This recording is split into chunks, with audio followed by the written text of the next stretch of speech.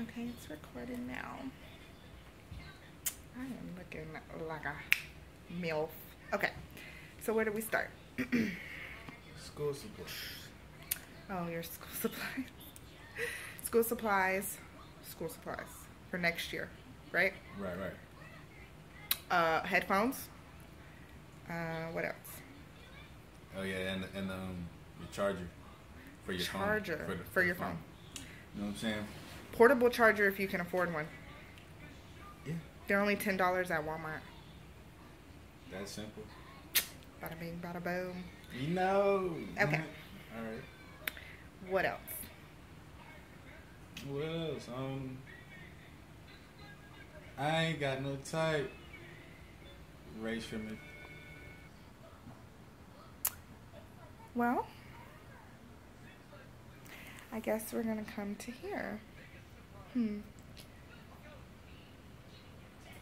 Everything that I want in life, I feel is very tangible. So I'm gonna strive for exactly for what I want. Nothing more right now.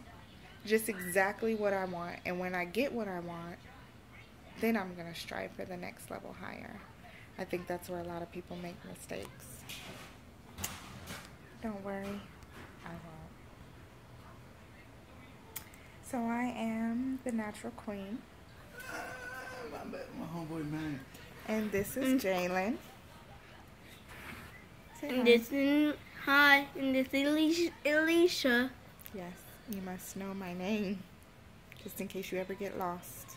You can go to someone and say what my name is. Very important to know. And if and and if you're thirsty and don't have anything to drink, Uh-huh. say I thirst. Okay, we will do that.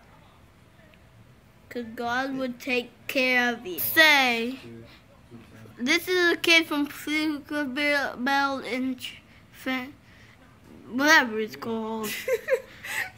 Pflugerville Elementary, a vibrant, proud, pride of everything we do.